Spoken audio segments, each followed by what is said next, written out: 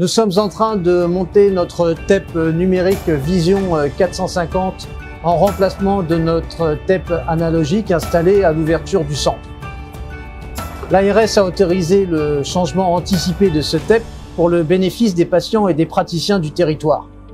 En effet, la technologie numérique autorise une bien meilleure résolution spatiale et temporelle pour des images d'excellente qualité.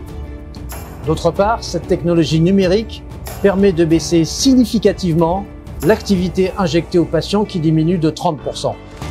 Avec ces deux TEP numériques, la pratique du centre Georges Charpak est considérablement améliorée. Les quatre TEP du Finistère, dont les deux TEP euh, du CHU de Brest, sont dorénavant des TEP numériques, ce qui constitue une exclusivité bretonne.